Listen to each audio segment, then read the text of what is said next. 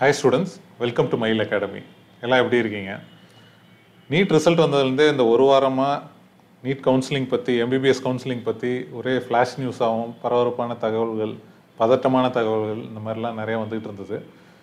இன்றைக்கி இன்னைக்கு ஒரு வழியாக சுப்ரீம் கோர்ட்டுக்கு கேஸ் ஹியரிங் போயிடுச்சு கேஸ் என்னென்னு கொடுத்துருந்தாங்கன்னா கவுன்சிலிங் ப்ராசஸை ஸ்டாப் பண்ணணும் நீட்டு ரீ எக்ஸாம் வைக்கணும். எதுக்காக அப்படின்னு பார்த்தீங்கன்னா ஒரு ஆறு சென்டரில் இருக்க ஸ்டூடெண்ட்ஸுக்கு கிரேஸ் மார்க்ஸ் கொடுத்ததா இருக்கட்டும். அது இல்லாமல் பேப்பர் லீக் இஷ்யூ இந்த மாதிரி விஷயங்களுக்கெல்லாம் உங்களுக்கே தெரியும். நாலு நாள் முன்னாடி என்டிஏ ப்ரெஸ் ப்ரெஸ் ரிலீஸ் கொடுத்துருந்தாங்க இது சம்மந்தமாக இந்த மாதிரி ஃபோர் மெம்பர் கமிட்டி வச்சு இதை இன்வெஸ்டிகேட் பண்ண போகிறோம் பேப்பர் லீக் ரிலேட்டடான ஆளுங்களெல்லாம் வந்து நெசசரி ஆக்ஷன் எடுத்துட்டோம். ஸ்டூடெண்ட்ஸ் மேலேயும் ஆக்ஷன் எடுத்திருக்குங்கிற மாதிரி சொல்லிட்டாங்க. ஸோ இப்போ அடுத்த கட்டமாக பார்த்தீங்கன்னா கேஸ் வந்து சுப்ரீம் கோர்ட் வந்திருக்குது.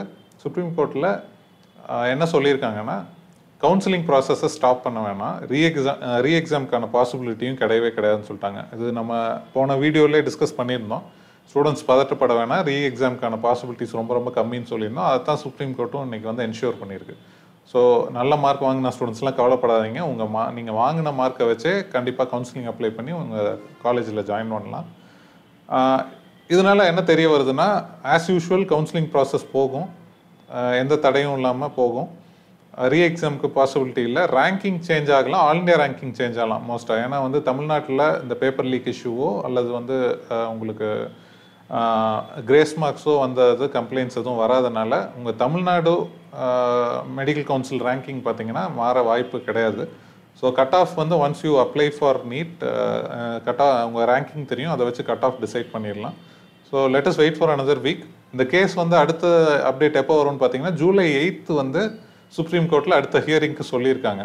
ஸோ அதுக்கு முன்னாடி வந்து கவுன்சிலிங் அப்ளிகேஷன் ரிலீஸ் ஆக வாய்ப்பு இருக்குது. நெக்ஸ்ட் ஒரு வாரம் நம்ம கொஞ்சம் ரிலாக்ஸ்டாகவே வெயிட் பண்ணுவோம் என்ன வருதுன்னு. நீங்கள் வழக்கம் போல் எந்த காலேஜ் சேரலாம் அந்த மாதிரி டெசிஷன் எடுத்துகிட்டு வெயிட் பண்ணுங்கள் அல்லது வந்து நீங்கள் ரிப்பீட் பண்ணலாம். ஏன்னா மார்க் ரிவைஸ் ஆகாதுங்கும் போது நீங்கள் ஆல்ரெடி வாங்கின மார்க்கை வச்சு என்ன பண்ணணுங்கிறத டிசைட் பண்ணிக்கலாம். ஸோ ரிப்பீட்டர்ஸ் ரிப்பீட் பண்ணலாம். இல்லை நீங்கள் வேறு கோர்ஸ் ஜாயின் பண்ணுறீங்க அப்படின்னா அதுக்கான டெசிஷன்ஸ் எடுத்துக்கலாம்.